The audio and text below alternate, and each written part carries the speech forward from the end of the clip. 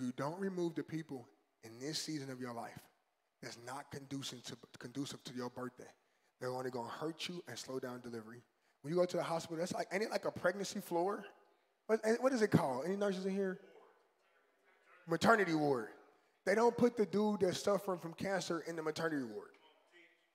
They don't put the dude that came in and his arm is broke in the maternity ward.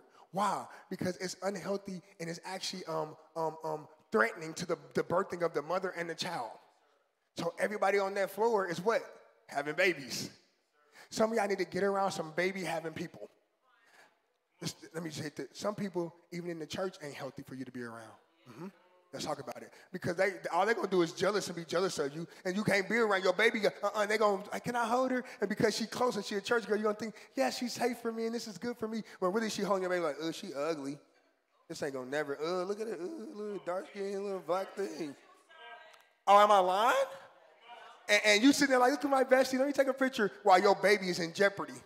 While they, while the, while the demonic demons that's on them and your baby and they say, eh, this is Auntie TT TT baby, uh-huh. uh, ugly.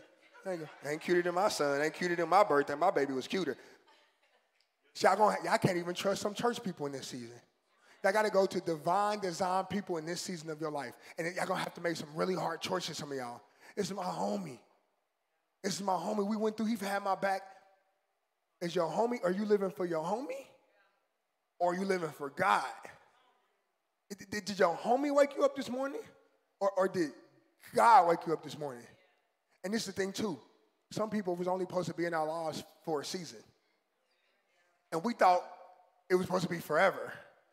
After I birthed the baby, I ain't going back to that doctor. I'm going back to my regular doctor. Just for a season that I was supposed to have a maternity doctor, what they call them, baby doctors. Like I was on I, OBG WAS, W. The OBXs. I'm not going back to an OBGYN if I got a pain in my leg.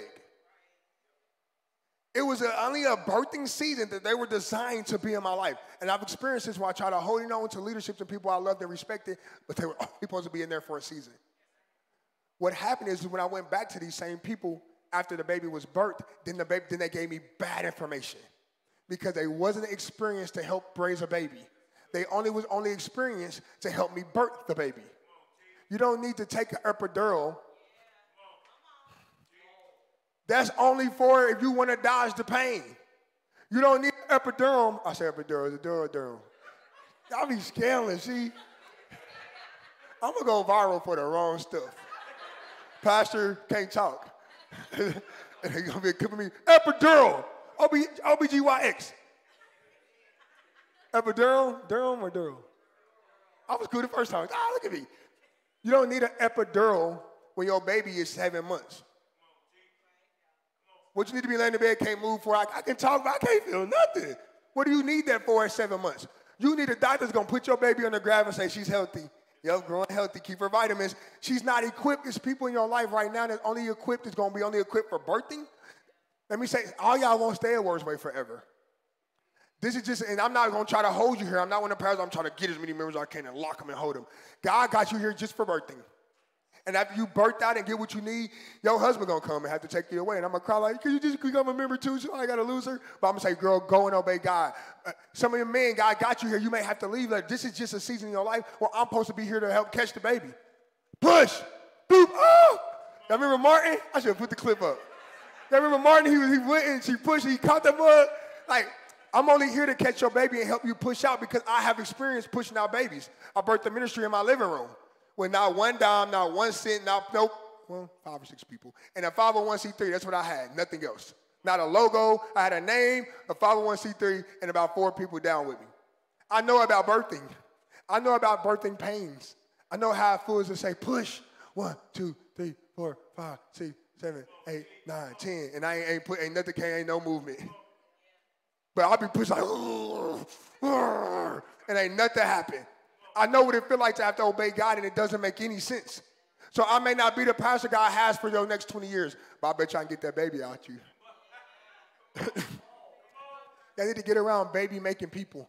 Baby, I mean pregnant other pregnant people. Yeah, um, um, um, y'all remember Mary? What happened when, when God impregnated her? What did she do? She She went to see her pregnant cousin. What happens when she meets and gets to her pregnant cousin? It's an instant connection.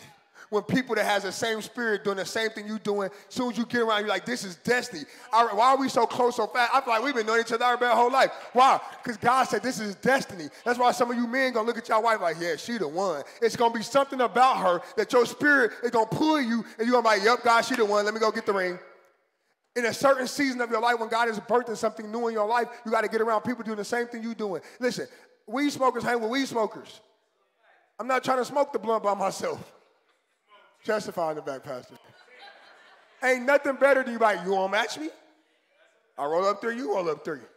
I, I, anybody come in, you matching me? One of the requirements, you got a couple of leechers, but one of the requirements is you gonna match.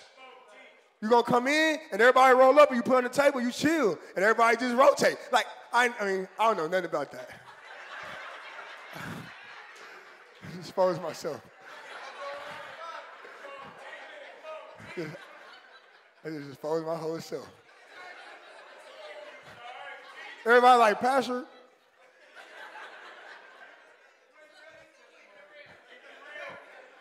you want to be around people that's birthing like you.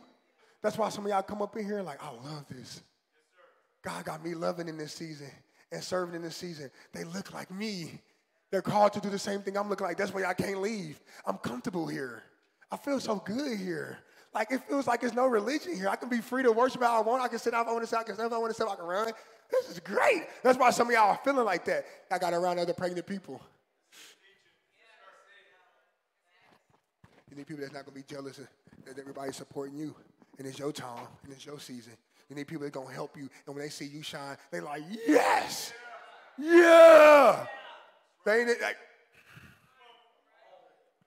Here's my question of the day. Can you honestly say that everybody around you is edifying you in this season of pregnancy? In this season, God is growing you and trying to get his glory out of your life. Have you exposed your baby to debt to preserve friendships, family ships, and loyalty to illegitimate resources? I, I, don't, I don't care I had to do this in my life. I don't care how bestie and cool we are. I'm pregnant and God is producing this baby and we call Word's Way. I didn't even know I was pregnant yet. I had to separate from some friends. I had to separate from some people. Some of my homies I haven't seen since I got pregnant. Since 2015, 16, I ain't really seen them or hung with them because I got pregnant and nobody understand pregnancy. So when you separate yourself and you're like, I can't hang anymore, and I can't run around with girls anymore, and I can't run in the clubs no more, and, and, and I, am too pregnant for that, and I had to move because something don't sit right, and my feet hurt, and I'm swollen, and I'm having morning sicknesses. I'm getting up at 3 a.m. reading the Bible. Like, you don't understand that right now. So normally when I would be kicking it with you, smoking and drinking and kicking and chasing chicks, I'm up at 1 o'clock in my word. I'm up and figuring out what God wants for me, and I don't understand why I feel so good and so full, and something is happening. And see, that's where a lot of y'all are at. Y'all got third trimester, just everything is just, it's just everything's overflowing. You can't figure out what's wrong with you. Bentley can't figure out what's wrong with him. Mr. Ben, he's calling me like, I don't, it's like fire in my bones. Like, I don't feel, like, what is this? Like, what is this tingling? What is this stinging me? Because he's pregnant. And God said, it's, it's birthing, make arrangements. It's birthing. It's time for you to birth out. And just for a minute, let me finish this. Can you honestly say that everybody around you is edifying you in this season of pregnancy? In the season God is growing you and trying to get his glory out of your life, have you exposed your baby, your destiny, the vision and purpose God is putting you for your life, the thing he is taking you to, have you exposed it to death because you're hanging on to illegitimate resources, people, family, friendships? Stuff because that's my mama, that's my daddy, that's my cousin. I can't, I'm loyal to my family. I'm a big family person. So you go, when God said don't drink anymore, I want you holy, and you go down out of town and hang with your cousin that you know is ratchet. So now you go to the club and like, girl, I just want to drink. You know, when you got around drinkers, they try to get everybody drunk. I have, I don't know nothing about that. I ain't gonna lie, college, my main purpose was have everybody drunk and me just be tipsy. I was like, come on, take a shot. That'll be mine. That'll be theirs. Like, come on, it's the same sauce. No, it ain't. Get around people that's so busy trying to get you. Hey, girl, meet me at the singles group. Hey, girl, meet me at the, come on, like, you, it, it, God is telling you it's going to be people you have to let go. And some of it's going to be indefinitely, and some is just seasonal. Some is just seasonal. Watch. I, I don't care if it's your cousin, baby daddy. I don't. Some of y'all, I'm a Democrat. I'm a Republican. Like, are you going to be loyal to politics or to what God say? Well, I've been at this job for 20 years. I got 10 years for retirement. Are you going to be loyal to me? Because you stay at that job, it's going to expose your baby to death. You're committed to unqualified sources right now, resources. Are you going to be committed to me or something? But I'm black. I support black business and black commerce and black love and just black everything. Let me, because I don't care. Let's stop lowering ourselves to black everything. When I see us do that, all I think of is we're lowering the standard. For instance, black love, I love it. Well, every time you see a couple that get it together, act like they got something, they act like they got some sense, we just celebrate, that should be the normal. I love black fathers take care of their kids. So you see one baby daddy pick up his kids every month, every weekend, and we celebrate it. He should be doing it every day. That is, you don't get a cookie for doing what you're supposed to do. And what is so such a rarity in our culture, unfortunately, that we do what we're supposed to do, that we love and take care of our wives and submit to God and love our children and raise our children, that when we see one person get it done right. Now, know how much praise I used to get for being a deep half, and I wasn't even a great father, I was a half. I would send a bunch of money and think I did my job and go back to school and kick it. And I got so much praise all the time for being such a great dad. Black fathers rule, king and your princess. And I'm like, I used to hear that like, bro, I should be way better than this. I don't get a cookie for going to my son's birthday party and bringing horses and a go-kart. Like, you know how many mothers have had that baby parties by themselves with no help? I don't get a cookie for helping like I'm supposed to. And this is, this is what we keep doing. This is what we keep doing. Give me that, that video one. This is what we're doing. Watch this. This is what we're doing, y'all. And we come to church every Sunday and we wring out the mop and we go hang right around the same thing. We go expose ourselves right back to the very thing, and we wait, and we and then what happened in 10 years, 15 years of being at the church, we're exhausted. And we like, I'm just, God ain't moved for me because you, you, you, you believe in him and you trust him and you believe everything he's saying, but then you return back to the same plans, the same area, the same sin, and the same thing, and then you come next Sunday and you rain that mop out again because it's full, it's full all the way back up again, and you get what you need, and you go, I'm going. You're gonna step out Monday, and, and, and, and Juju gonna call you like, bro, pull up. You're like, all right, cuz I'm just going for the video games, God. I'm just gonna play Madden, 2K, and you go, and you you smell it on the way on the way to the door. Oh my God, Kush. Now you smoke Kush anymore? What they smoke? Whatever. You smell it, and you're like, ah. I got this guy.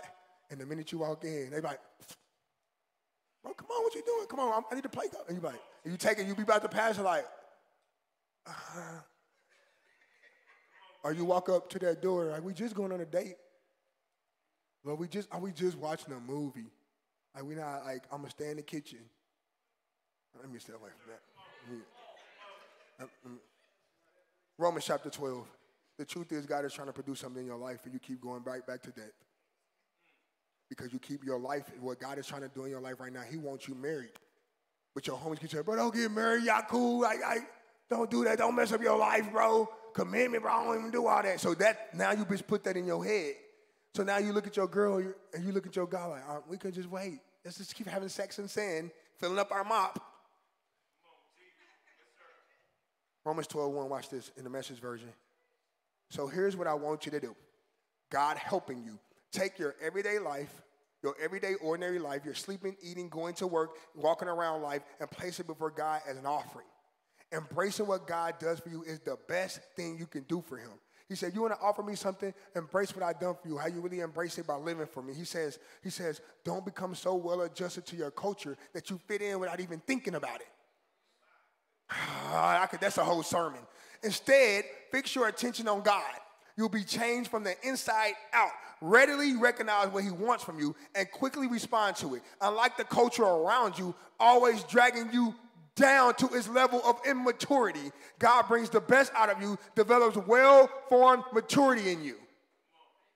It will be no growth if we continue to be the same people and be around the same people do the same thing. He said, I need to change the way you think, and I got to give it to you in the Amplified version because that version is just fun to me, but this is going to give you a little bit more meat to your bones. Verse 1 in the Amplified version, same thing. Therefore, I urge you, brothers and sisters, he's talking about the body, he's talking about us, by the mercies of God. So, how can you be talking to brothers and sisters of Christ? These are ones of us who already believe in Jesus Christ. We just got a lifestyle issue. Brothers and sisters, I urge you, I beg you, please stop living like this. He says, he said, uh, he said, present your bodies, dedicating all of yourselves, set apart, sanctified, as living sacrifice, holy and well pleasing to God, which is your rational, logic, intelligent act of worship. He says, and do not be conformed to this world any longer with its superficial values and customs. And we, oh my God, I wish I could preach this. I could just, this is a lesson by itself. He says, with its superficial values and customs, be transformed and progressively changed as you mature spiritually by the renewing of your. You got to change the way you think. God, and he says, he, he said, watch this. You're not going to do the changing. I'm going to do the work in you. I just need you to present yourselves up. I just need